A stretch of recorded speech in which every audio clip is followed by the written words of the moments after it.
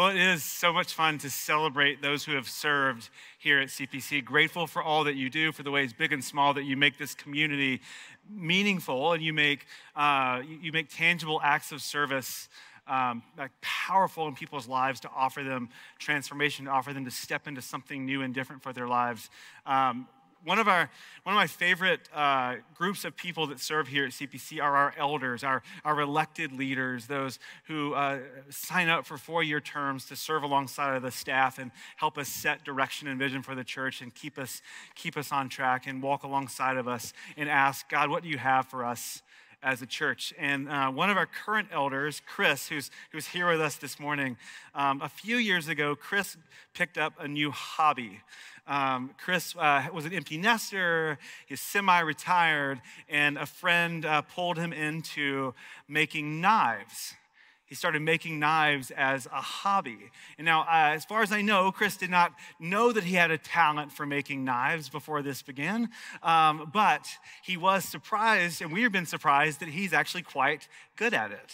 And many of us have been on the receiving end of really amazing knives that Chris has made himself. My, some of our favorite knives in our kitchen right now are ones that Chris handmade from scratch himself. And so he did not know that he had the secret talent of making knives, but God has surprised him with that, and he has used it to bless and encourage so many other people. And what I believe about every person in this room is that God will surprise you with how he desires to use you. God will surprise you with how he desires to use you. In fact, what we're going to see this morning is that the calling of Jesus means that Jesus sees something in you that you may not yet see yourself.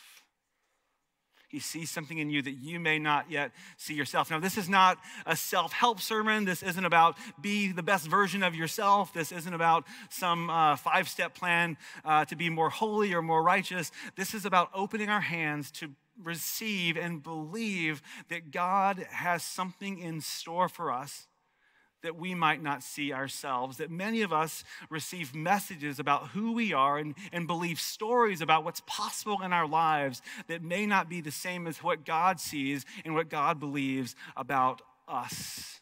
And we're going to see a story in the Bible today where that was true of one man named Zacchaeus.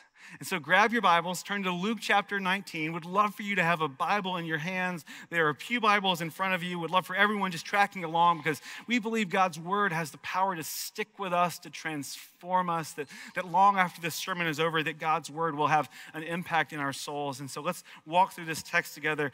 Uh, Luke chapter 19, starting in verse 1.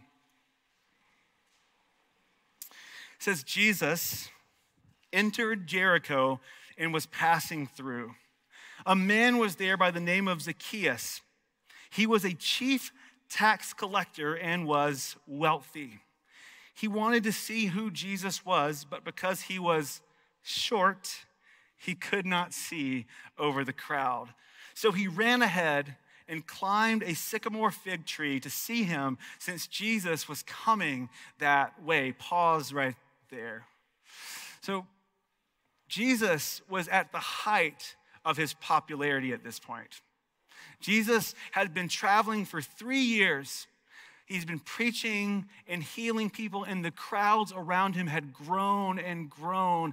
And Jesus is coming through Jericho, and it was like, you know, like Taylor Swift's coming through town, and everyone wants to see right? Everyone wanted to see Jesus. And so uh, uh, this guy, Zacchaeus, he was no different. He wanted to see him, he didn't want to miss out on Jesus. And so Jesus is coming through, but Zacchaeus has a problem. The crowds are like the Macy's Thanksgiving parade crowded on the street, and he's a very short man. He cannot see over the crowd. So it says he runs ahead to a sycamore tree, which is along the path. And a sycamore tree would have been perfect for this because it had a low trunk, so even a short person could climb it.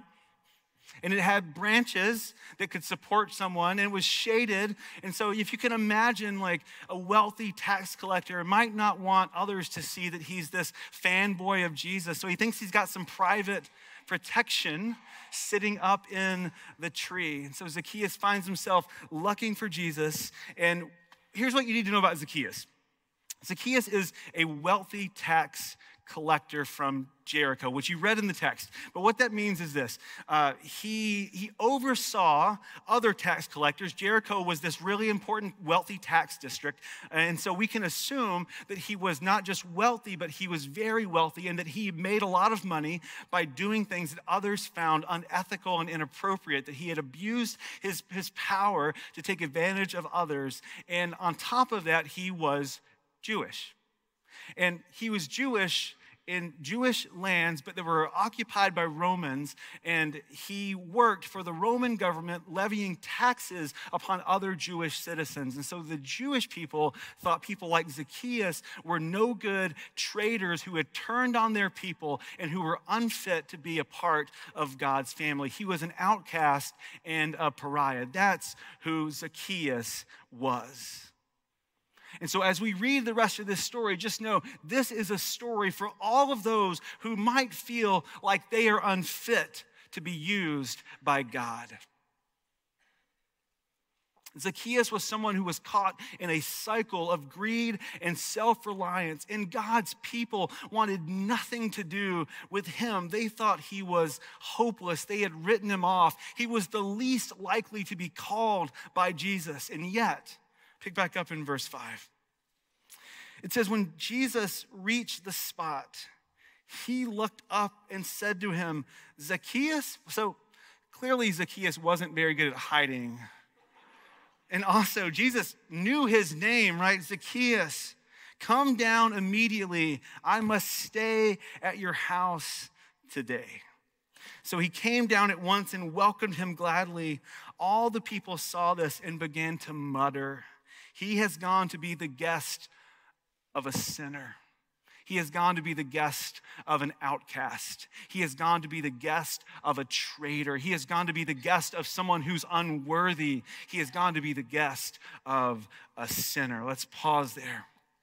Now, it's that time of year um, where there are tons of graduations and everyone's excited, and there are tons of grad parties. And one of my favorite things is stopping by grad parties and getting to see people and hang out. And, and uh, so this weekend we got to go to a few of them. And one of the fun things about grad parties is you show up and you're like, oh, I, I didn't know they were going to be. Oh, I didn't know they were going to be here. I didn't know they. I didn't know they knew that person.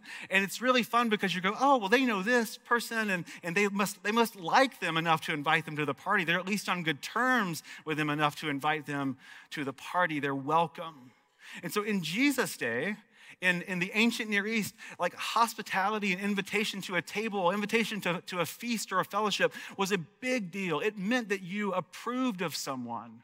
If you, if you both invited someone and they accepted, it meant that, that you were associated with each other, that you were okay being in the same room, that you were uh, accepted and approved by each other. So it's a big deal that Jesus says, I want to go to your house.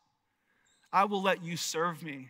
I will break bread at your table with a traitor.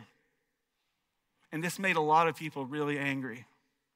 That Jesus, this religious man who so many people were following, who so many people believed in, that he would sit down at the, the table of a traitor and that he would show him that he is seen and loved and accepted.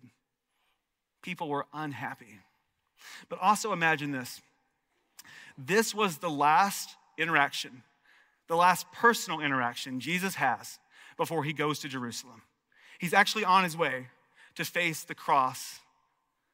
This is the last personal interaction Jesus has with a tax collector. And the same man who goes into the house of a sinner to break bread will just days later go to the hill and face the cross on behalf of all of us traitors, all of us sinners. The good news is that Jesus meets Zacchaeus right where he is, but he doesn't leave him where he is. He meets us where we are, but he doesn't leave us where we are. He comes for all of us sinners and he offers himself. He comes to those who have no hope. This is God's work throughout history that no one is beyond God's love, that no one is too far to be reached, no one is too far to be used for God's glory in the world. So if you feel like Zacchaeus or worse, take heart. God sees you and he sees something in the you might not see yourself, but he loves you in spite of it, and he will take you. He will walk alongside of you. He will take you where He wants you to be. He is calling every one of us the same way He calls to Zacchaeus and says, I'm coming into your life. And it changed everything for Zacchaeus. Pick back up in verse 8. It says, But Zacchaeus stood up and said to the Lord, Look, Lord, here and now I give half of my possessions to the poor, and if I have cheated anybody out of anything, I will pay back four times the amount. Pause there. I mean, like when my kids have candy and I decide to take a handful, I'm not like, I'm not like doubling that portion and putting it back, you know? Like, I'm not like putting four times the amount back in. Look, don't miss how crazy this idea is. A tax collector who has spent his career cheating people has said, I will give away half of my money and then I will repay people not one time, not two times, not three times, four times, which is what he would do with the other half of the money, by the way. This is a crazy idea. This is a crazy promise from Zacchaeus. It is wild that he would even consider such a thing. What a powerful response. And it's meant to blow our minds. Like, this is a crazy, powerful reversal. It's, it's like the opposite of the end of a lifetime movie. No one saw it coming. Thank you. Thank you for that. Yeah. we don't even get the conversation right? Like, fast forward to the, like, they've had a dinner conversation. We don't even get the conversation between Zacchaeus and Jesus. And I think that's part of the point. Like, we're not supposed to focus on, well, what did Jesus tell him? What did Jesus tell him so that he responded this way? No, no. Jesus saw him, Jesus loved him. He came to his house. He responds in what looks like a crazy way but is actually a sacrificial response to the love of Jesus. And so, by the worldly standards that Zacchaeus has been living by for decades, it, it's crazy. Who would respond this way? But Zacchaeus no longer sees himself that way because Jesus came to his table and sat with him and demonstrated that he sees Zacchaeus is worthy of love, and that changes everything for Zacchaeus. Like when you see yourself the way Jesus sees you, it will change how you do what you do. And so for Zacchaeus, it meant that it changed the way he viewed his job and his wealth. His job was no longer about cheating people and controlling people, but, but about blessing and encouraging others. His wealth was no longer about accumulating the biggest stack, but about helping and encouraging uh, and supporting those who had gotten the short end of the stick. See, the calling of Jesus may change what you do, but it may not change what you do. It may just change how you do it. Many of us are right where God wants us and he wants us to learn to respond to his call and his love right where he has us. Because when you know that you're loved and you're not seeking to be fulfilled by anything else, it can transform the way that you're a roommate or a friend, the way that you're a coworker or a parent, the way that you're a boss or a company owner. Like those things start to get transformed by the love of Jesus. And that's what it means to be called. That's what it means to be called, that, that we do the daily things in our lives in light of the one who has called us. That's what it means to be called, that you do the daily things in your life in light of the love of the one who has called you. And we will find, just like Zacchaeus found, that when we open our hands to the love of God, that he will give us more than we could have ever held to, held on to on our own. He will bring peace and wholeness into our souls. Pick back up in verse 9. Jesus said to him, Today, salvation has come to this house, because this man too is a son of Abraham. For the Son of Man came to seek and to save the lost. Let's stop there. Salvation has come to this house, not because he gave his money away, That was a response to salvation coming to his house. No, in fact, you might have missed it. The most beautiful line in this passage is actually this This man, too, is a son of Abraham. Now, why is that beautiful? Because Zacchaeus was a Jewish man, a son of Abraham by birth, who was living and treated as anything but. He was an outcast, he was separated he wasn't whole. He felt it in his soul. He wanted something more. He had been alienated from God and from God's people. How could God possibly ever use someone that's so messed up? In fact, Zacchaeus' name comes from the Greek word Zakai. Zakai means righteous one. And so, if you're reading this story and you understand, you're like, okay, he is the least righteous person in this story. He is the least righteous.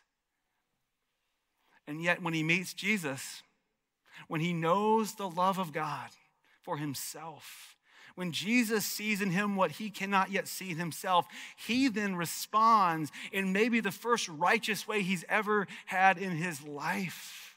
Right? He responds not because he's figured it out, not because he's smarter or stronger or more capable, but because he's responding to the beckoning, overwhelming love of Jesus. That when you see yourself the way Jesus sees you, it changes everything. And Jesus sees in you what you have not yet seen yourself. So we come before him and we bring our failures we bring our deficits, we bring our doubts and our frustrations, we bring our broken lives, and we say, God, use it. Use it for your glory. Like no one was looking at Zacchaeus and going, What a generous man. Before he met Jesus, no one was looking at Zacchaeus and going, What a generous guy. And yet, in light of Christ, his life is transformed who he really is in Christ matters. Jesus sees it before Zacchaeus can even see it himself. Friends, because the gospel moves, we can be open to how Jesus sees us. We can receive it and we can respond in our everyday lives to accept his calling of the one who loved us first, who meets us where we are. He doesn't leave us where we are. Amen? And it's at this table, gathered around this meal, this simple meal of, of bread and a cup, that Jesus tells us who we are, that He makes us righteous, that He makes us clean and pure, that He takes away the sin that stands in the way of the calling that God has in our lives and reminds us here's who you are. You are people of the body and the blood of Jesus. So on the night that he was betrayed, just days after he encounters Zacchaeus, Jesus sat at the table with his disciples. And after he had blessed the meal, he took the bread and he broke it and he said, This is my body. It is for you. Take and eat. Do so in remembrance of me. And in the same way, he took the cup and he said, This cup is the new covenant in my shed blood for the forgiveness of your sins, for your healing. Whenever you drink of this cup, do so in remembrance of me. And Christians throughout the ages have celebrated that whenever we eat this meal, whenever we eat this bread, drink of this cup, we are proclaiming the power of the living Jesus, his death and resurrection at work in our lives that this is tangible and real and good for us to do together. These are the gifts of God for the people of God. I'm to invite the servers to come get into place. Once the servers are in place, the ushers will come and release you by rows. You'll come forward and you'll take a piece of bread, dip it in the cup as the words are spoken over you. If you need prepackaged or gluten free elements, they'll be available at the end of every station. But, friends, this is where we taste and see that the Lord is good, where we taste and see that Jesus sees us and loves us right where we are.